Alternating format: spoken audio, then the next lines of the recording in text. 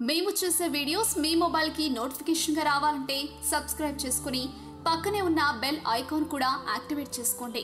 సామాన్యంగా ప్రతిరోజు పూజలో పెద్దగా విశేషమేమీ లేకపోయినా భక్తి శ్రద్ధలతో పూజించడం వలన శుభ ఫలితాలు పొందగలరు.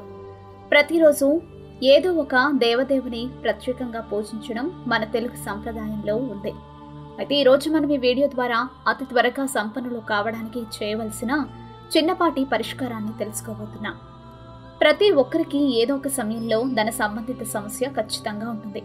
అలాంటి సమయంలో అప్పులు చేయడం లేదంటే రుణాలు తీసుకోవడం వంటివి చేస్తూ ఉంటారు. అసలు ఇటువంటి సంబంధిత సమస్యలు లేకుండా ఉండాలంటే లక్ష్మీదేవి ఎప్పుడూ కలకల్లాడుతూ మన ఇంట్లో ఉండాలంటే చేయవలసినవి ఒకే ఒక చిన్న పని.